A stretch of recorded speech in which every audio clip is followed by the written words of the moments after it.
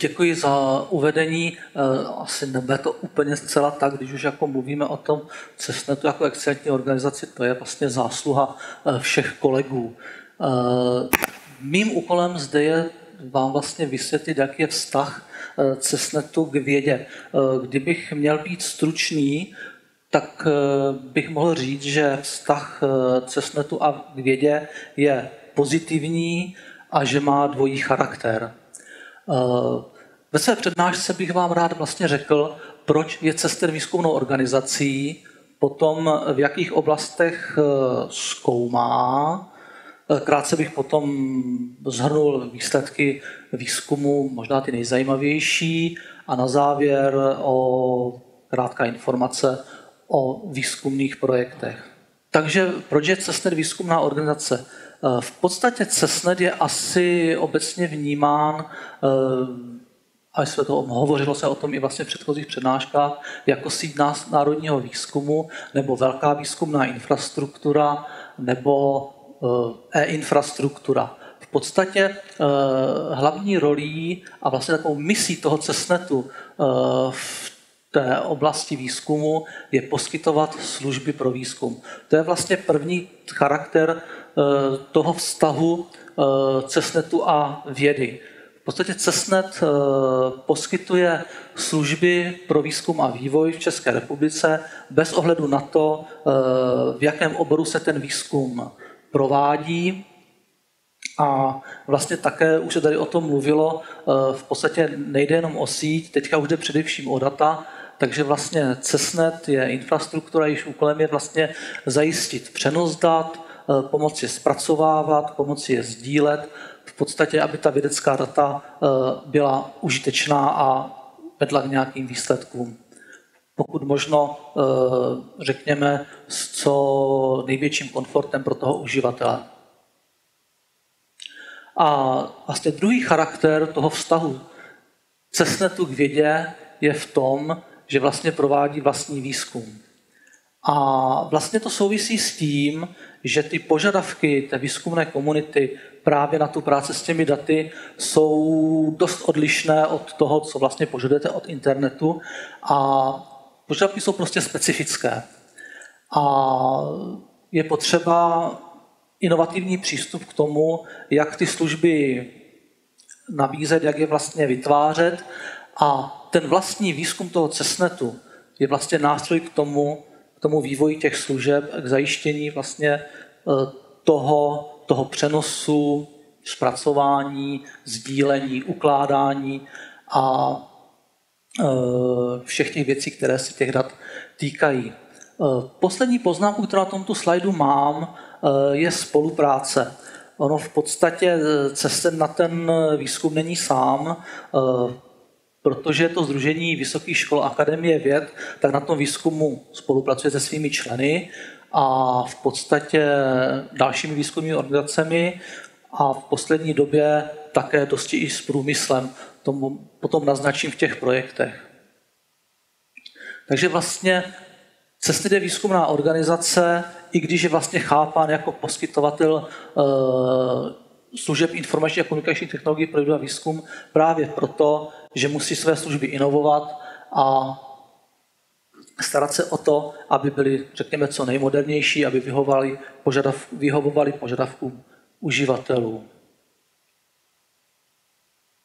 Tak, teď bych se uh, začal vlastně jednu po druhé probírat ty nejdůležitější oblasti výzkumu, které, které v Cestnetu provádíme. Uh, první oblast výzkumu je výzkum v oblasti síťových technologií.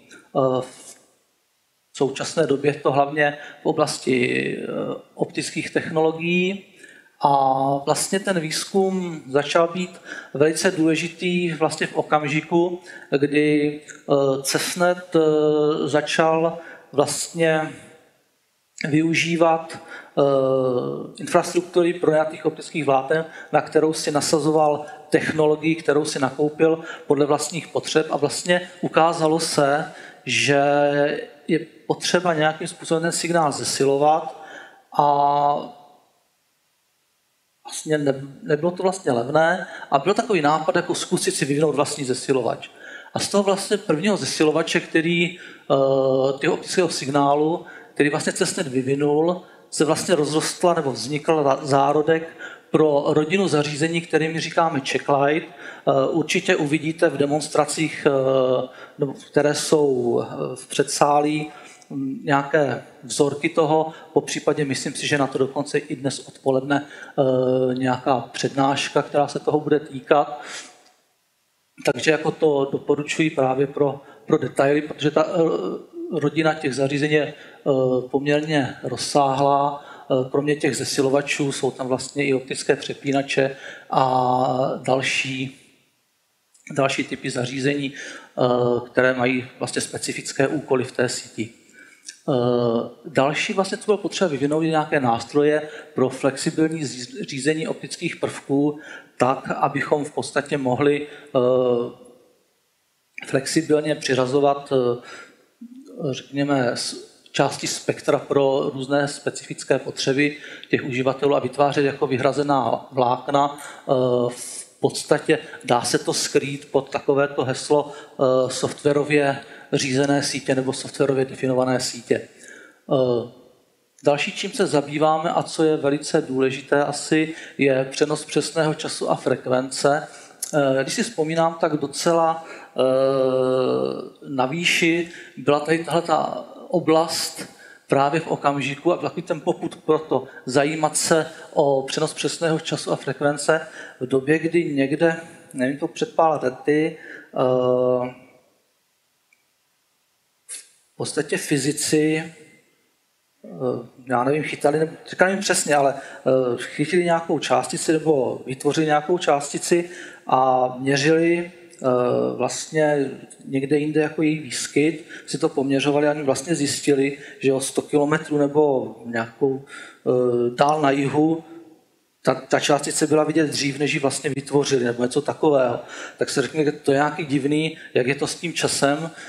Eh, je potřeba čas přesně synchronizovat a přesně ho přenášet, takže v podstatě to byl takový poput pro eh, výzkum, nebo intenzivnění výzkumu v této oblasti a CESNET je v tom v podstatě taky jedna z předních jako evropských sítí, která se tím zabývá. Další věc, eh, co souvisí s bezpečností, je optický senzorický systém. Ten si myslí, ten, ten přesně najdete eh, jako demo. Vlastně jde o to eh, měřit otřesy, změny vzdáleností budov a podobné věci. CESNET také potom má dvě laboratoře, jednu optickou, jednu hardwareovou, ve které je možné vlastně si otestovat ta zařízení, po případě nějaké technologie. Je tam také optický testbed, eh, v podstatě, ano, o tom už jsem mluvil, ne, ne, nemluvil, ten jsem přeskočil. Optický testbed eh, je to v podstatě asi 300 km vláken, které jsou namotány a v podstatě simulují síť. No a v podstatě možná nejdůležitější oblastí v současné době je bezpečnost. Eh, vlastně se s přenášením velkých jako objemů dat, se zrychlováním těch sítí, se zvyšováním jejich kapacity se také v podstatě mm, objevil zase tak jako zájem, eh, řekněme, nečistých sil o to prostě tu síť nějakým způsobem zneužívat.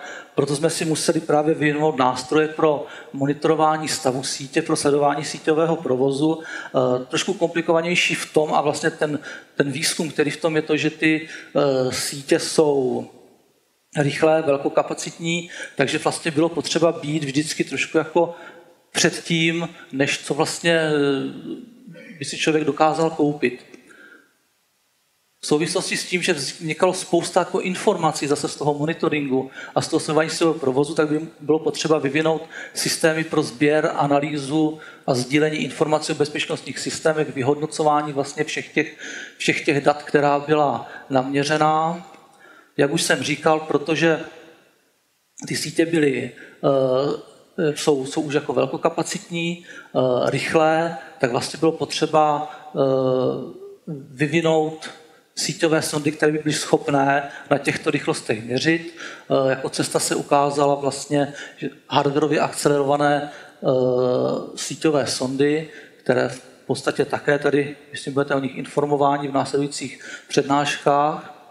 A co je vlastně novinka, vyvíjeme zařízení na ochranu před DDoS útoky. Je to v podstatě zařízení, které je schopno vlastně odklonit nějaký provoz, který vypadá, že není úplně zdravý a že vlastně představuje tento útok.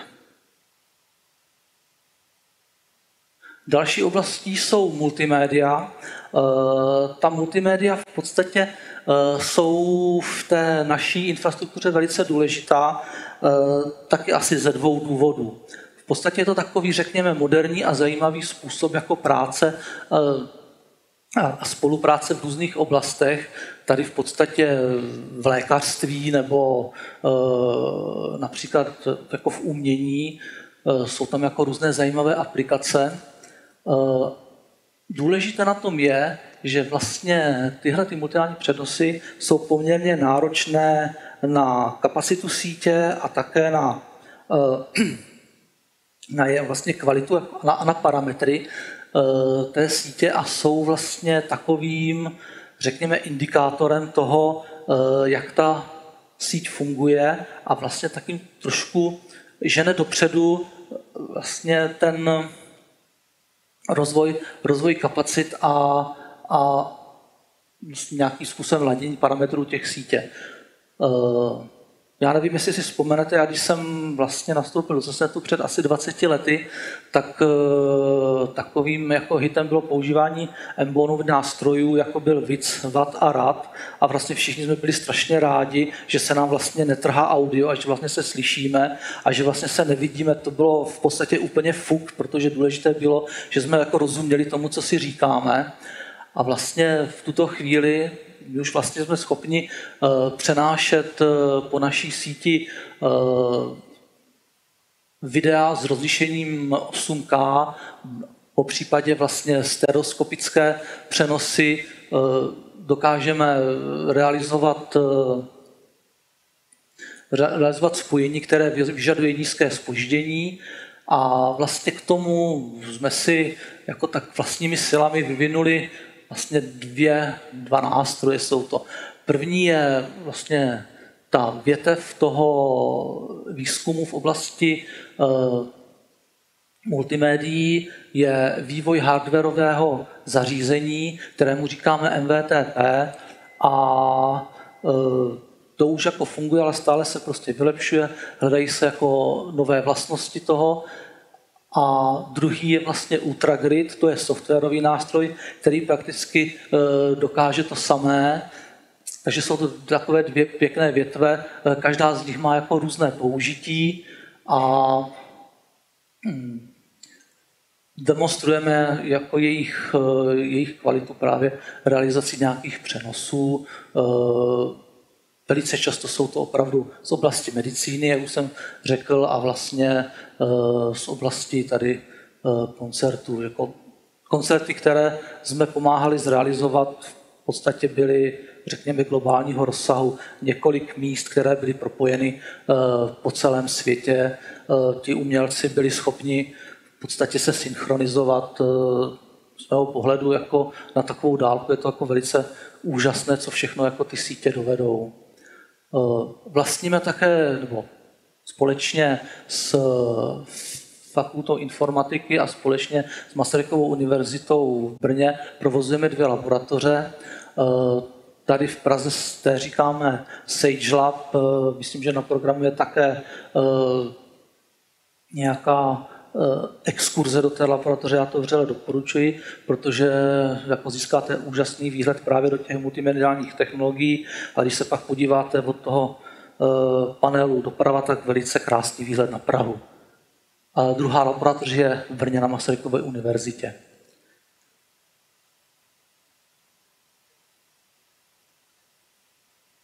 Takže zatím tady o tom moc eh, povídáno nebylo, ale součástí té infrastruktury, na rozdíl například od Switche nebo od toho Nordnetu, eh, my máme infrastrukturu eh, pro distribuované výpočty.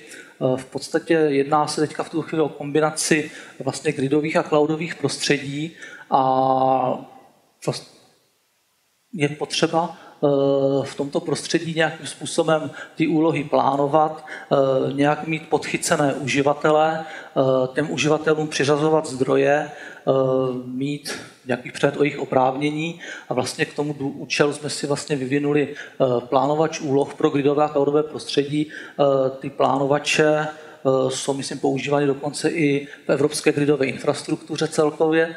A hm, další věc vlastně pro řízení eh, přístupu uživatelů jsme vyvinuli systém pro zprávu uživatelů Perun, který začíná být pomalu nasazován také celoevropsky, například eh, součástí Elixir.cz.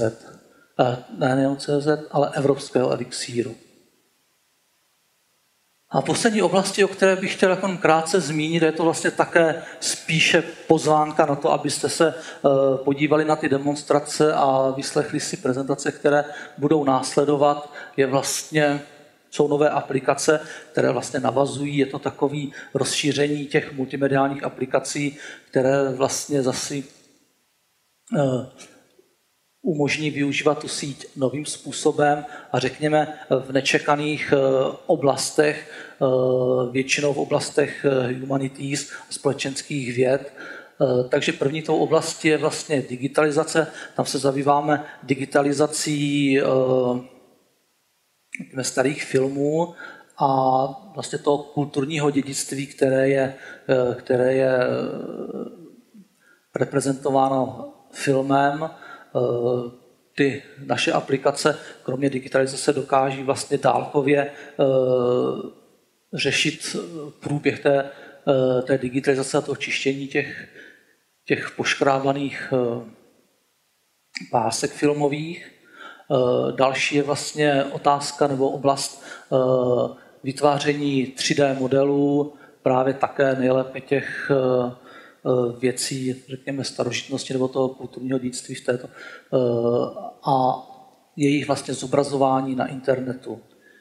A poslední oblastí je vlastně internet věcí a využívání vlastně toho internetu věcí eh, pro různé účely, například pro sledování kvality prostředí právě v okolí, zase nějakých věcí nebo řekněme, památek, které jsou na to prostředí náchylné, aby bylo prostě možno včas detekovat uh, nějaké věci, které by mohly ohrozit ten, ten objekt. Uh, přejdu k výsledkům asi jenom stručně. Uh, samozřejmě mezi výsledky, které patří, jsou ty povinné Eh, články v časopisech a ve sbornících, ale vzhledem vlastně k eh, misi CESNETu a k tomu, co je jeho, co je jeho účelem a cílem, jsou důležitější aplikované výsledky, což nás tak trošku právě diskriminovalo eh, v té metodice hodnocení výzkumných organizací, které se říkalo kafemlejnek, tady bych chtěl zmínit těch aplikovaných výsledků, že kromě eh, prototypů a funkčních vzorků těch zařízení, softwaru, eh, různých ověřených technologií nebo metody, které jsme vytvořili, ještě vzpomínám si vlastně na základě výsledku jednoho projektu, který byl na téma bezpečnostní výzkum vlastně má Česká republika e, národní CERTI, který jsme v podstatě díky tomu jako vybudovali. Takže k těm aplikovaným výsledkům mezi nejdůležitější patří patenty. Těch máme od začátku CESNETu, jich bylo přiděleno 30, z toho 14 bylo národních, 7 evropských a 9 e, máme registrováno v Americe e, a bylo také vytvořeno 22 užitných vzorů Eh, možná jen tak pro zajímavost eh, z těch aplikovaných výsledků nakonec vlastně má, můžeme se také pochlubit dvěma úspěšnými eh, spin-offy. Jenom tento slide v podstatě má dokládat, že ten výzkum v podstatě není jako měřen jenom těmi, těmi výsledky, ale v podstatě i oceňován, když to vezmu od zhora, na tom mezinárodním fóru, tam vlastně mm, uh, máme vlastně ocení spíš jenom práce jako konkrétních kolegů. Eh, tři jsou právě v té komunitě žán, ve které my působíme, to je vlastně to eh, infrastruktura, infrastruktura síťová pro celou Evropu. Tam máme vlastně dva Jam Community Award, které získali dva kolegové za významné přínosy, jeden v oblasti AAI, druhé, druhý v oblasti sítí. Potom Radek Rejčí získal ocenění za Eh, významný přínos eh, v projektu Durango eh, v Open Network Foundation a jak už tady bylo řečeno, pan ředitel získal Českou medaili Víčový nadace právě také za trvalý přínos k tomu výzkumu a vývoji v poručení internetových technologií, které jsou pro vědu, výzkum a vzdělávání. Co se týká národních ocenění, ty už jsou spíše v podstatě pro celý CESNET. První Zrovna ne, to jsou dva kolegové eh, od nás, eh, Honza Radil a Josef Vojtěch a kolega eh, Miloslav Karásek z Ústavu fyziky, fotoniky a elektroniky Akademie věd, kteří získali cenu ministra za, za výzkum a to za použití právě optických vláknových zesilovačů v naší síti. Potom jsme získali čestnou cenu, čestné uznání v rámci soutěže o prestižní cenu inovace Eh, jako celý CESNET. Druhé místo v soutěži nejlepší spolupráce roku, eh, kde jsme v podstatě to bylo za distribuovaný systém pro komplexní monitorování vysokorychlostních sítí, což byl projekt, který jsme eh, dělali společně s Network Technologies a poslední cena je také vlastně s Network Technologies společně a je to za síťovou kartu pro zpracování 100 gigového internetu právě pro, takovou, pro tu sondu, o které jsem hovořil předtím. Eh, na závěr tedy už jenom takový opravdu stručný přehled projektu, já nebudu mluvit o jejich názvech, eh, v podstatě spíše jsem to rozdělil podle toho, eh, kdo jsou poskytovatelé podpory, kterým bych chtěl touto cestou také jakoby poděkovat. První je vlastně Ministerstvo školství mládeže a tělovýchovy, kde vlastně Máme dva projekty velkých infrastruktur, také dva projekty operačního programu výzkum, vývoj a vzdělávání jsou z tohoto, eh, tímto resortem financovány. Jenom v podstatě to OPVV bych, co se týká výzkumu, bral jenom jeden, protože v tom projektu Elixir máme trochu jinou roli, než vlastně vytvářet výzkumné výsledky. Pan ředitel Levák zmiňoval, já to tady opomněl, eh, sem patří také institucionální podpora eh, pro dlouhodobý rozvoj, dostává také od MŠMT a s ní financujeme výzkum a vývoj. Eh, dalším velkým poskytovatelem a významným je Technologická agentura České republiky, kde máme čtyři projekty v programu Epsilon, z toho dva jsou na téma bezpečnosti a dru- sledování provozu a vyhodnocování jeho stavu. Druhý, druhé dva projekty jsou z oblasti síťové, je to v podstatě pro virtualizaci na virtualizaci sítí a na akceleraci vlastně eh, těch sítí. Eh, dva projekty, ty jsou vlastně na využití v oblasti informačních technologií v oblasti humanities. Eh, je to program ETA, který je na toto zaměřen, to také už běží běží rok. Zapomněl jsem sem uvést jednu důležitou věc. Jsme také součástí Centra kompetence pro kyberbezpečnost, které koordinuje Masarykova univerzita. Eh, jsme tam ještě spolu s Vysokým učením technickým v Brně a několika dalšími vlastně podniky z Jižní Moravy, které se zabývají tou oblastí bezpečnosti. Potom dalším poskytovatelem ministerstva vnitra v programu Bezpečnostní výzkum České republiky máme eh, pět projektů. V ministerstvu kultury je program eh, na podporu aplikovaného výzkumu eh, a vývoje v oblasti národní a kulturní identity. Tam právě se podílíme na projektu digitalizace záznamů z Laterny Magiky Ministerstvo průmyslu a obchodu v programu TRIO, tam vlastně ten projekt je zaměřen právě, jak už jsem zmiňoval, na sledování těch eh, eh, veličin prostředí na objekty, které jsou na choulostivé, čili týká se to internetu věcí. Napsal. Posledním tím poskytovatelem je Evropská unie. Máme v projektu Horizon 2020 8 projektů, jeden je na bezpečnost a sedm se týká rozvoje infrastruktury.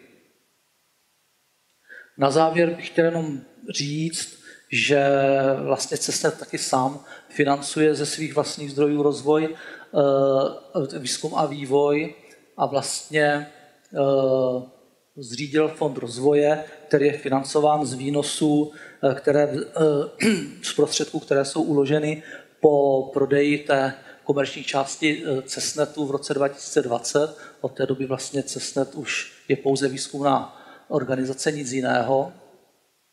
A ten fond rozvoje je zaměřen na podporu výzkumu a vývoje činnosti eh, svých členů a v podstatě eh, ty projekty, které jsou tam předkládány, musí být vlastně také v souladu s tím, co CESNET dělá, takže se s těmi oblastmi, které jsem eh, před chvílí popsal. Projekty jsou teda na inovativní využití infrastruktury, na vývoj nových aplikací, které tu infrastrukturu využívají a v podstatě pro členy nebo zástupce členů združení, kteří jsou tady, eh, jenom připomínám, že byla vypsána první výzva pro 2019, obvykle bývají dvě a na této adrese vlastně najdete eh, parametry té výzvy.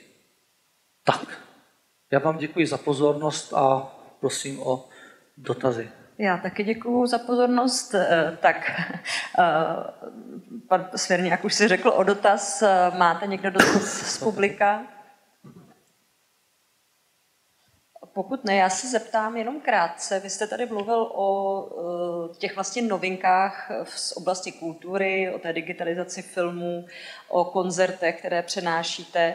Eh, jaké oblasti výzkumu eh, v CESNETu vnímáte do budoucna jako zajímavé? Nebo čemu se chcete věnovat dál? Tak samozřejmě zajímavé jsou všechny, že ale kdybych teda měl dát něčemu jako prioritu, myslím, že velice důležitá je ta bezpečnost. To je podle mě jako téma, eh, téma této doby. A eh, druhou tou kategorií by byl spíš výzkum v oblasti eh, kvantového šifrování. Ono to souvisí jak s bezpečností, no zajištěním bezpečnosti, tak vlastně i s těmi optickými sítěmi. Takže to je taková velice zajímavá oblast a to si myslím, že tam bychom se mohli trošku uplatnit.